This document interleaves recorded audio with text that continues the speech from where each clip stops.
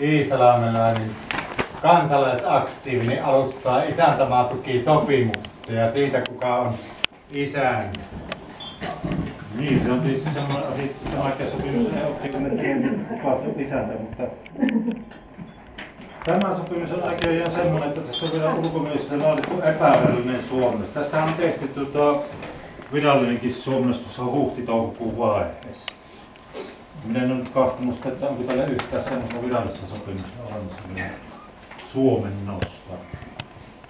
Mutta jos puhutaan NATO isäntämaan sopimusta, niin tässä puhutaan tämmöisestä, eli yhteisymmärrystä pöytäkirjasta.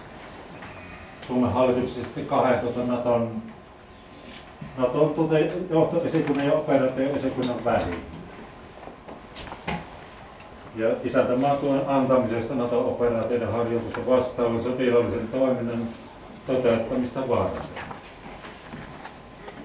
Ja oikeastaan voisi jakaa tämä kahteen osaan, että miten tämä sopimus tehtiin ja mitä tämä sisältää.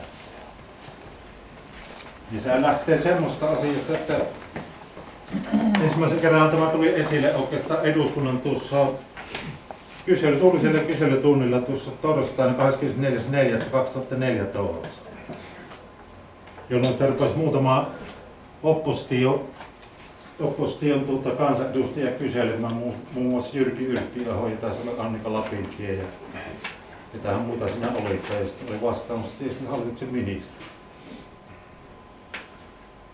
Ja tuota, siinä vaiheessa tuo, muun muassa tuo Erkki Tuomaja, SDP-ulkoministeri, sanoi, että tämä on tuota oikeastaan vasta niin kuin alustava keskustelu käynnissä tästä sopimuksesta. Ei ole mitään kiirettä.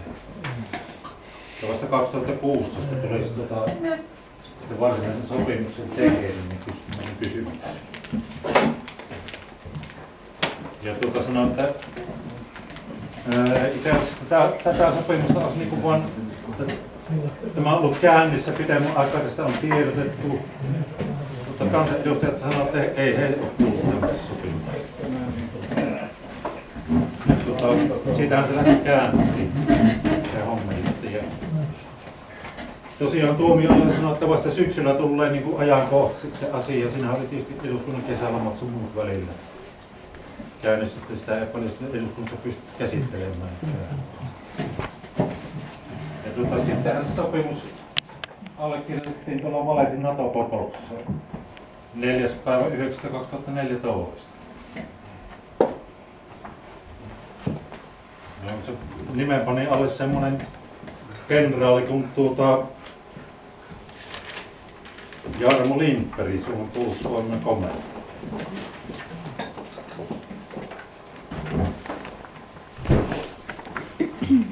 Semmoinen minä en tiedä missä, mulle ei ole oikein selvinnyt, missä hallituksen piirissä tätä käsitetty tämä sopimusta, sen, koska on se jossakin pitänyt puhua, mutta esimerkiksi semmoinen on kuullut, että Utvassa olisi käsitetty ministerivaliokunnassa, jossa on myös presidentti ollut mukana.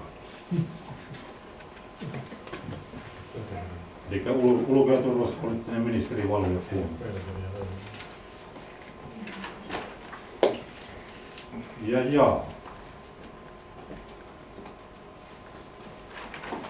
Ja sitten kun katsoo sen, että tuota, mikä tämä sopimuksen tarkoitus on ollut. Se on tässä oikeastaan kohdassa kaksi näkyy sitten tarkemmin, jos katsoo tuonne eteenpäin.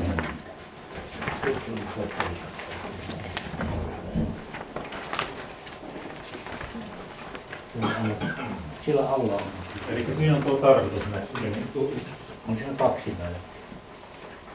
Tämä pöytäkirjan tarkoituksena on ollut toimintaperiaatteet ja menetelmät tukikohtien perustamiseksi ja isäntämaan tuen antamiseksi isäntämaassa oleville tai isäntämaan tukemille NATO-joukkoille NATOn sotilaallisen toiminnan aikana.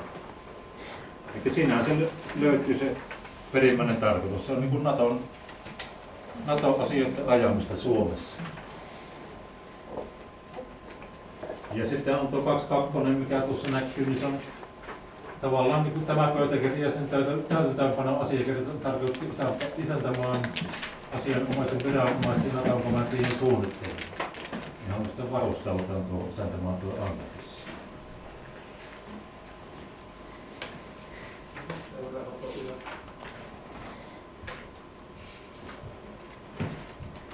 No sitten siellä on tuota, noista tukikohdista, jos otetaan tuo kakkosen tukikohtahomma, niin siinä on semmoinen homma, että tuo, nehän tulisi olemaan niin kuin Naton, tuota, Naton kenraalien ja komentajien johtaminen ne tukikohdat, mitä Suomessa on.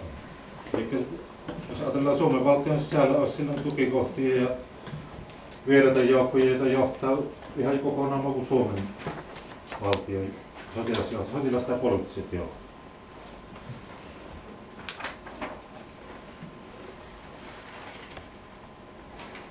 Ja tähän liittyy tietysti aika monta seikkaa, kun tätä sopimusta alkaa sellaamaan.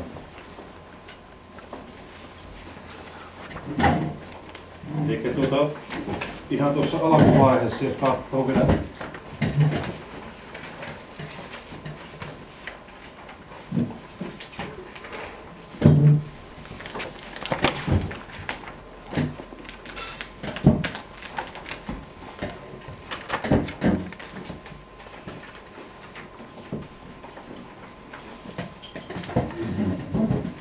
tässä niin kuin, ot- se on pitkä li- li- litania, että ottavat huomioon, mutta tämmöinen seikka, että ottavat huomioon periaatteen, jonka mukaan Naton joukkoja ja Naton johtamia joukkoja voidaan sijoittaa tasavallan alueelle toisen kautta rauhan, kriisien, poikkeusolojen ja konfliktien aikana Naton sotilaisen toiminnan tukemiseksi. Aika rankkaa tekstiä minun mielestä, kyllä jos ajatellaan, että Suomi ei ole Naton jäsen. Vaikka tietysti kuuluukin noihin eri eri tuota NATO-organisaatioja paljon aiemmin oli.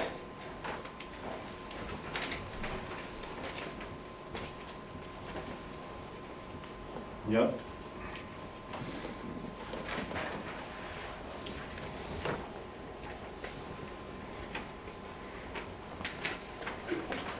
sitten tuo eh, seuraava kohta, jos otetaan tuo 1.1, joo.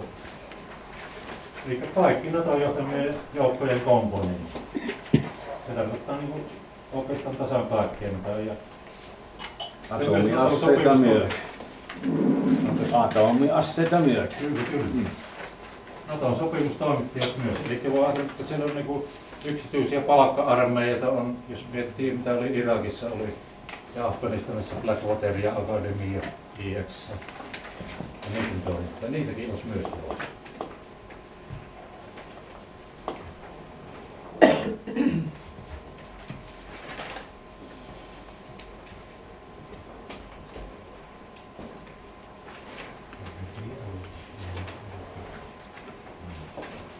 Ja sitten tuota, tästä nyt on sen verran tämä sopimushommeli on niin kuin, mitkä tästä tätä rupeaa sellaamaan, niin sitä pitäisi ihan kynän, kynän kanssa seurata tuota ja pistää ylös, mutta siellä on esimerkiksi tuota, tuo Voimalehti kirjoitti tässä 2 2015 hyvä artikkeli tästä isäntämaasopimuksesta ja siinä tuota, Voimalehden toimittaja kysyi puolustusministeri Karl Haglundilta, että onko tuota Suomi pistänyt varaamaan tuolle ydinaseen, ydinaseiden tuonnille. Haglund vastasi, sitten ei ole pantu varaamaan erikseen. Ja jos miettii sitä, että Suomi on kumminkin esimerkiksi tuon, tuon, tuon ydinsulkusopimuksen allekirjoittaja ja ratifioija valtio, niin kyllä se aika erikoista kuulostaa siinä mielessä, että Suomi olisi tuossa jopa ydinase. Ja ainakaan kielletty ei. ole. Onko sulla noita vielä tuota lappuja? Minun edestä oli hävi. Joo, tuossa se. Minä olen Tuotko mullekin saman? Toinen. Kaaro, kaikki mitä on. Siitä vaan. No joo. Ja sitten siinä on tullut semmoinen hommeli, että tuo, tuo, tähän sopimukseen liittyy semmoisia esimerkiksi niin kuin tuo tietoturvahommat ja se salassapito määräksi. Että jos on mitään jotakin jatkosopimuksia, niin onko esimerkiksi kansanedustajilla mahdollista oikeutta saada niitä tietoja, että mitä on tulossa? Koska jo tässä tämän sopimuksen valmistelun vaiheessa, niin kansanedustajat sanoivat, että ei he saaneet niitä tietoja. Muun muassa Jyrki Yrttilähän sanoi monta kertaa, ja puolustusvaliokunnan jäsen oli Jyrki Yrttilähän siitä asiasta. Ja tietysti voi sitä miettiä, että koska tämä sopimus esimerkiksi tehtiin, ei se englanninkielinen oli alun. Ja Suomessa kyllä kai nyt tuota, perustuslain mukaan niin Suomi ja Ruotsi on vielä kansallisia kieliä, että jos kansanedustajat niin kuin vois vaatia sitä sopimuspohjaa nähtäväksi sillä, sillä kansallisella kielellä.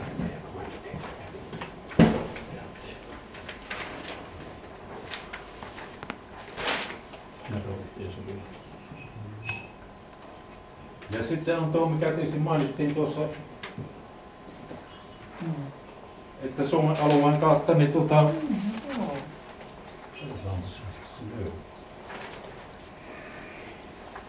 tuossa 1.2, no tuo sotilainen toiminta, niin siellähän on tuo myös hyökkäys.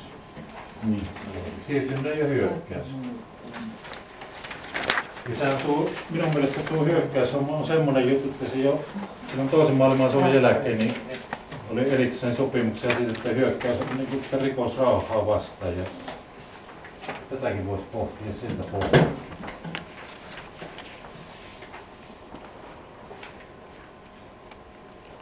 No sitten tässä sopimuksessa tietysti mainitaan semmoinen asia, että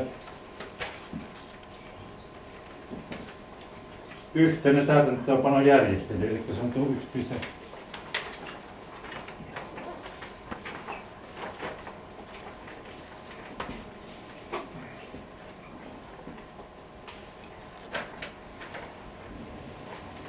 Yksi piste kahdeksantoista. Yhteen täytäntöönpanon järjestely ja miten tämän pöytäkirjan täytäntöönpanemisessa sitten tehdään näitä järjestelyjä, niin allekirjoittajat sitoutuvat keskinäisesti isäntämaan antamisen ja vastaanottamisen. Niin jos sanotaan, että tämä, puhutaan siitä, että tämä on vasta semmoinen niin perustava sopimus, että erikseen sovitaan joka kerta kun tullaan, niin tehdäänkö se samalla tavalla niin kuin tehtiin tämäkin sopimus, että eduskunta syrjäytettiin kokonaan, eihän tätä käsitelty koko eduskunnassa, ennen kuin se meni allekirjoittamaan. Kuka tuossa kokee huolehtii tuostakin ja noista ohjauskomiteasta, mikä tuossa on mainittu yhteinen isäntämaan tuo ohjauskomitea ja tilakkainen komitea. Siellä kyllä mainitaan, että komitea, joka koostuu kaikkien lähettävien valtioiden valtuutusta edustajista sekä isäntämaan edustajia yhdistä tai kahdesta Naton, yhdestä tai useammasta Naton komentaajasta. Siinäkin on jo epäsuhta yhdestä tai useammasta ja se on tuo isäntämaan tuo edustajasta.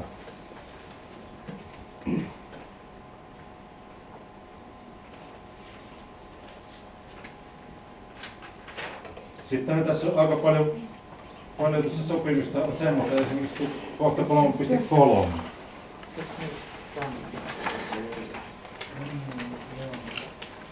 Tämä kohta mikä on. Tämän pöytäkirjan on tarkoitus olla Naton doktriini ja toimintaperiaatteiden mukainen. Ja se toimii isäntämaan tuon kehysjärjestelyn ja rakenteen.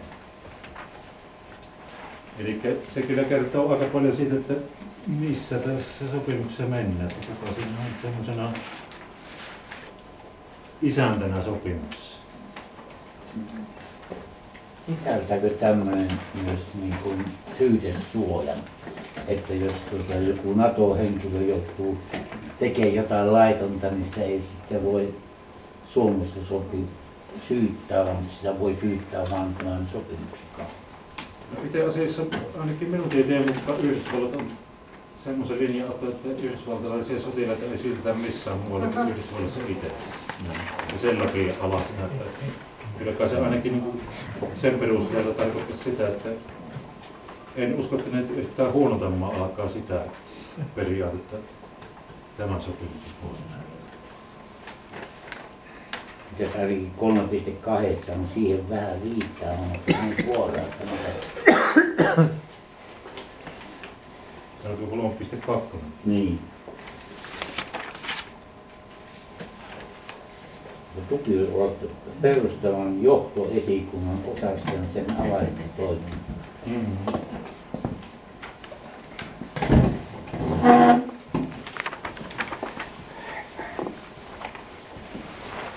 Ja sitten tässä on tuo kohta 3.5. Eli tämän pöytäkirjan määräyksiä sovelletaan rauhan, poikkeusolojen, kriisien ja konfliktien aikana tai kansainvälisen jännitystilan aikana siten, kun isäntämaa ja Naton asianomaiset viranomaiset yhdessä päättävät. Eli taas on tuo yhdessä päättäminen ja sen voi kuvitella, että jos se menee siihen samaan pöytään, niin kuka sillä on vahvempi se päättää. Kumpi osapuoli on? Sitten viitataan tämmöisen täytö, täytäntöönpanon asiakirjoihin. Joo. Ja tämä ei ole se täytäntöönpano Ei, kyllä siinä on pitkä litania tällä lopussa, sitten on noita erilaisia noita Näistä osa on näistä liitteistä muuten tuota suomennettu ja osa ei. Mä pyysin itse tuolta ulkoministeriöstä kattavaa tuota suomennosta näistä ja ne antoi muutaman linkin, linkin tuota suomennettuun teoksiin ja sitten sanoi, että ehtikää sitä Naton sivuilta näitä. Eikös, miten itsenäisyyspuoluehan kehu suomentaneen tämä, että on- onko se täysin sen suomentana, en ole katsonut. Itsenäisyyspuoluehan kyllä Suomessa sen silloin, tuota, oliko se vuoden alussa? Niin, No, ennen alussa. vaalia jo. Ennen vaaleja. Mm. Ja s- mitä minä olen häntä lukenut, niin kyllä se on aika paljon samannäköinen suomalainen kuin mitä tämä. Ei itse nähdä tänään.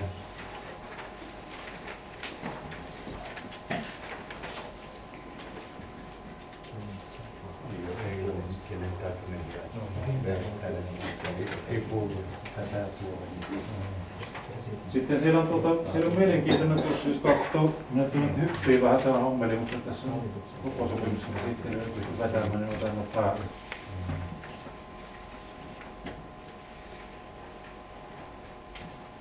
Siellä muun muassa rahoituksesta on tietysti pitkä, pitkä osa, että miten tämä rahoitetaan nämä hommat ja kuka niitä rahoittelee ja kuka,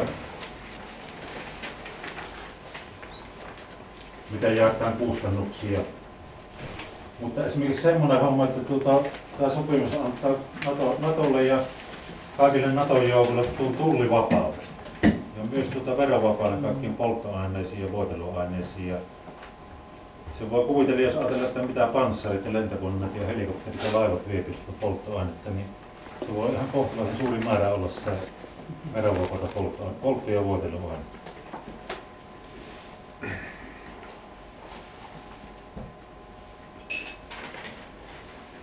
Ja samoin tässä sopimuksessa sanotaan semmoinen asia, että tuota,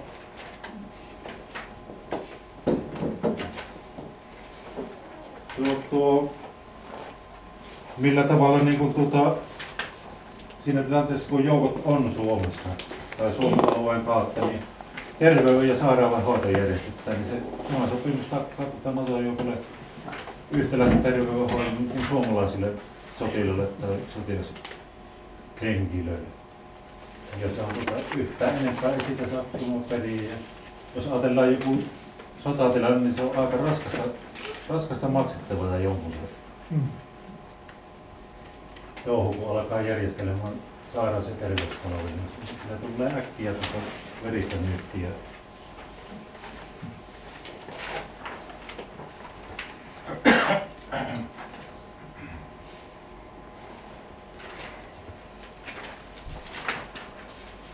Ihan kun Ruotsin vallan aikana määräsivät talonpoikkaan ylläpitämään ne ruotsalaiset armeijat, mitä Suomessa Mm. oli, josta, jonka seurauksena syntyi se nuijasota.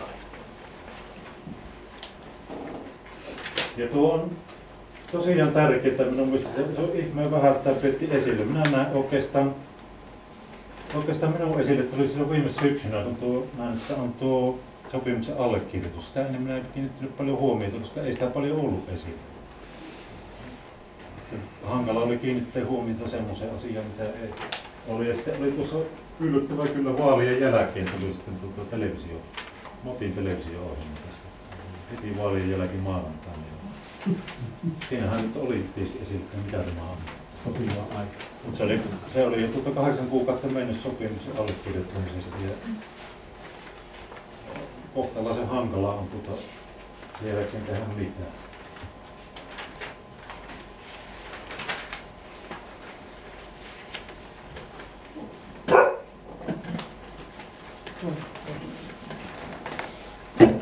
Kuinka moni teistä on muuten lukenut tämän sopimuksen ennen kuin tulitte tänne?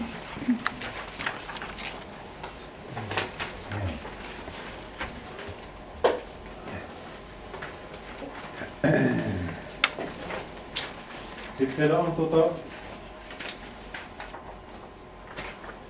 siellä on tuota, muutamia mielenkiintoisia kohtia. On tuo, että kovin pitkään ruppi lukemaan, koska se on vielä mikä keskustelun kautta. Kun tuota, että minä tätä aloitin tankkaamaan tästä. Se on, no, on tuossa. Ja,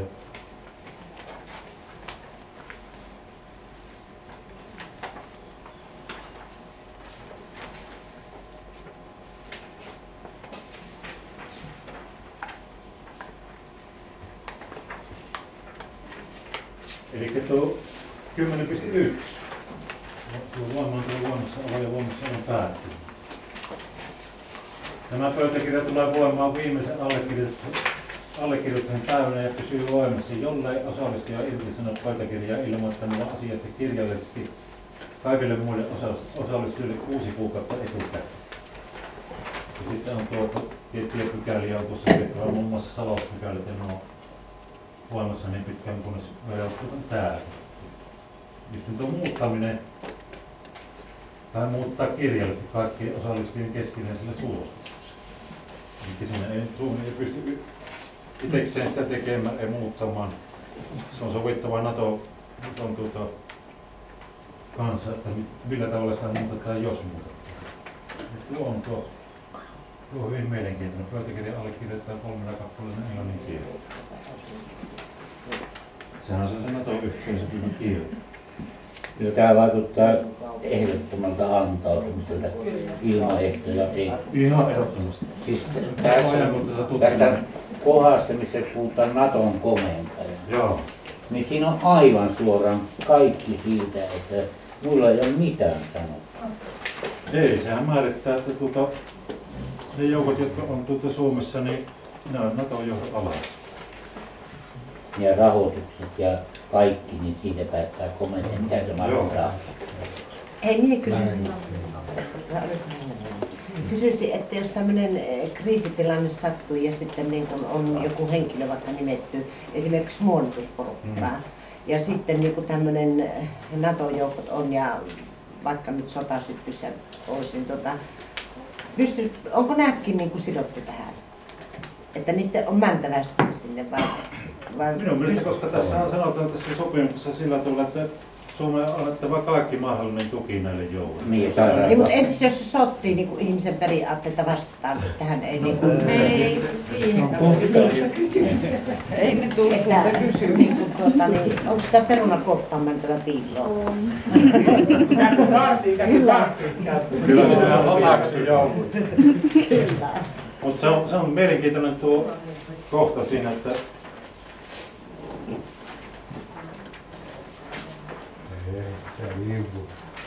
Esityksestä kieltää nyt tätä sinun. Niin, kyllä.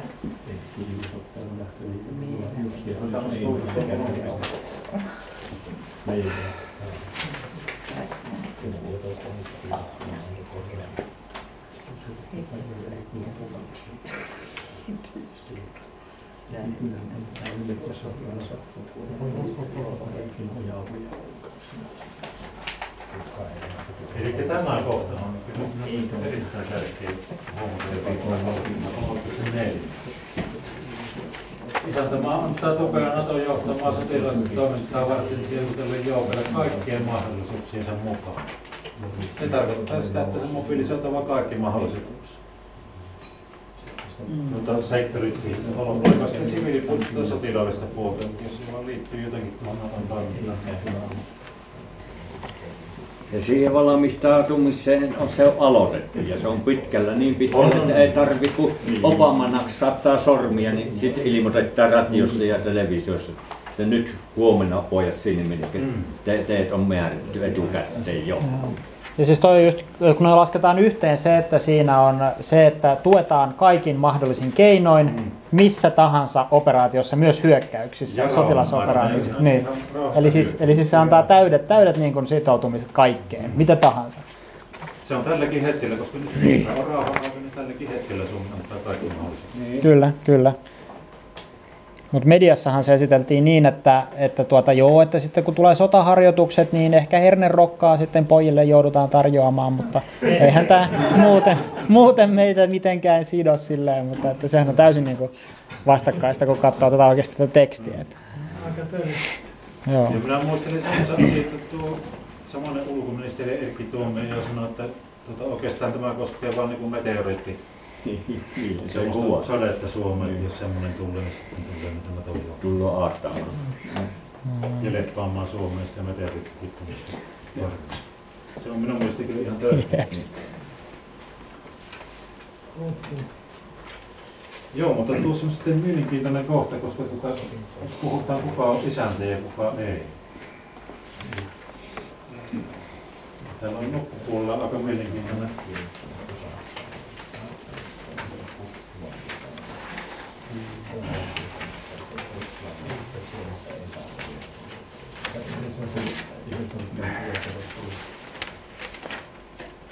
Tuosta esimerkiksi otetaan tuo suhde kansallisen ja kansainvälisen toimintaan. Jos jo tuota, sinä tästä Eli tässähän mainitaan, että tämän pöytäkirjan tarkoituksena ei ole syrjäyttää osallistujista, vaan kansallista oikeutta, eikä niitä sitovia kansainvälisiä velvoitteita. Mutta tuota, jos, jos miettii esimerkiksi tuota ydinaseiden tuontia, niin sehän on tuota kansainvälinen velvoitettu NTP-sopimus, eli ydinsulkusopimus Suomi, jo- jonka mukaan Suomen ei pitäisi niin maaperälleen sallia niitä ydinaseita tuoda. Siinä on jo niin rikottu sitä hommaa, koska ei ole pantu varausta. Niin ja rikkoo myös sitäkin, minkä YK tuo, tuo, tuo y, y, Venäjän kanssa lakkautettiin se yhteistyö ja avunantosopimus ja sen jälkeen tehtiin sitten uusi sopimus. Mm. Niin en nyt muista sitä mitä siellä, vaan se rikkoo myös sitä, mitä on Venäjän kanssa sovittu. No siinä kyllä minun mielestä sitä mainitaan, tota, viitataan tuota, oletettavasti juuri tuohon esimerkkiin. Kohta 3.6.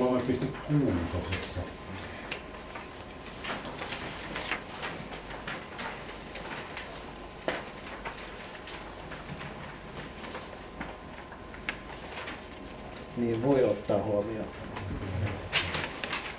Joo, eli 3.6. Samalla kun lähettävä valtiota kannustaa osallistumaan Naton sotilaalliseen toimintaan ja hyväksymään tämä pöytäkirja määräyksen kehitys, kehysasiakirjana, eli Naton doktriinina, jonka mukaisesti isäntämaa antaa isäntämaa tukea.